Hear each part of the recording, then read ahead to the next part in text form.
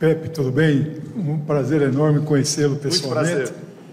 Você é muitas notas de rodapé em vários livros meus. Eu baseio em muitos dos seus escritos. Obrigado. Uma honra estar aqui.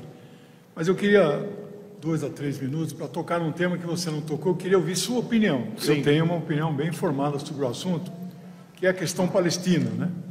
Dois anos atrás, o Xi Jinping, presidente de um país que tem um bi e meio, falou para um povo que tem 20 milhões. Metade está na diáspora, metade está lá na Palestina, que hoje chama Israel. Xi Jinping disse: não há causa mais justa no mundo hoje do que a causa palestina. Bem, no dia 16 de setembro de 82, eu já tinha sete anos de militância comunista e internacionalista. As falanges libanesas começaram o massacre de Sabra Shatila. 16, 17, 18, 19. 4 mil palestinos foram assassinados sob o beneplácito de Israel.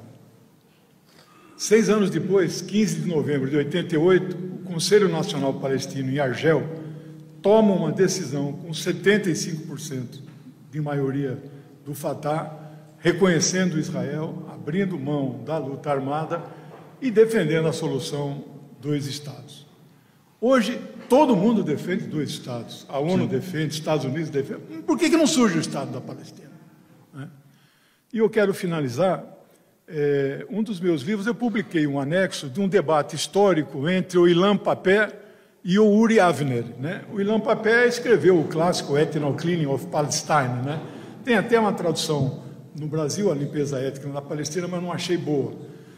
Aí, o Ilan Papé defende Estado único, com o nome Palestina, binacional, bilingue, etc. O Uri Avner defende dois Estados, como o mundo inteiro Sim. defende. Hoje, o, o Abbas visitou a China e saiu de lá o compromisso de a China apoiar a iniciativa árabe de paz, que é basicamente as fronteiras de 67. Fronteiras de 67. 22% da Sim. Palestina histórica. Hoje Sim. os palestinos têm 8 a 10%. 8, da, 8%. É. Como é que você constrói Estado com este território? Possível. Então, eu pessoalmente, eu, eu tenho uma forma de militar, eu não opino sobre aquilo que os a quem eu estou prestando solidariedade devem fazer. É o povo palestino que deve decidir.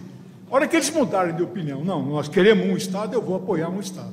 Agora, pessoalmente, o, o Estado da Palestina, nestas condições, é inviável. Eu queria saber a sua opinião. Um ou dois é, estados. É, é, invi é inviável quando você vê como funciona todo o sistema israelense, independente de partidos políticos, independente do Knesset.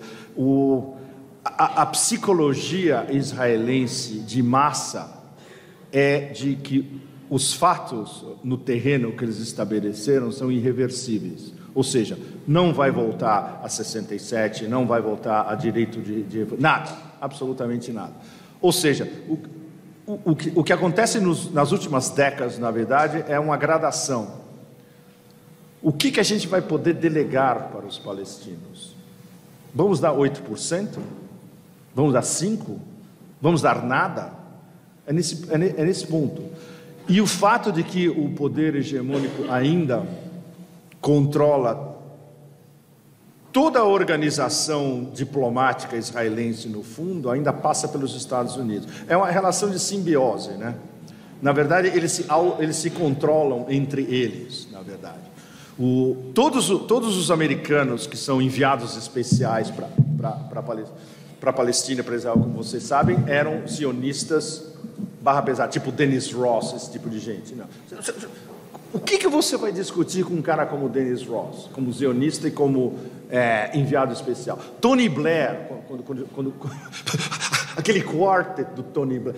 Imagina, o meu amigo Alastair Crook, ele estava trabalhando com o Tony Blair dentro do quartet também. Ele falou, ah, não tinha nem o que conversar.